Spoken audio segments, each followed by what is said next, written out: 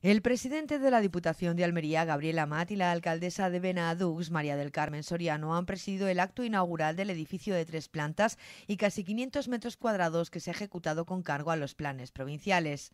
En el acto de inauguración también han participado el vicepresidente de la Diputación, Javier Aureliano García, así como otros diputados provinciales, concejales y cargos públicos de la provincia de Almería. El proyecto Otras Dependencias ha supuesto una inversión de 593.978 euros en este municipio del Bajo Andarax, con cargo a los planes provinciales, que han cofinanciado la Diputación de Almería y el Ayuntamiento de Benadux. Se trata de una edificación nueva que se ha anexado al antiguo mercado y que cuenta con dos accesos, uno principal desde la carretera nacional 340 y otro desde la calle Juan Gázquez Martínez.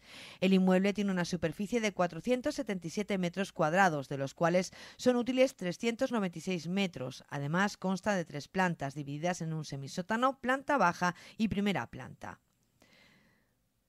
Así en el semisótano hay un garaje, un cuarto de instalaciones y un vestíbulo. En la planta baja está el porche de acceso, los despachos del juez de paz y del secretario del juzgado, dos vestíbulos, sala de espera, aseos y despachos de atención al público y de atestados e informes. Y en la primera planta hay otro de tres despachos, dos vestuarios, un aseo, el armero y el archivo. El presidente de la Diputación de Almería, Gabriel Amat, ha destacado la importancia de las inversiones realizadas en Benadux, porque se trata de una obra que ha supuesto una mejora de las instalaciones municipales y todo un balón de oxígeno de inversión. Este edificio ha contado con una inversión de casi 600.000 euros y el ayuntamiento se ha ahorrado más de 100.000 euros de su aportación.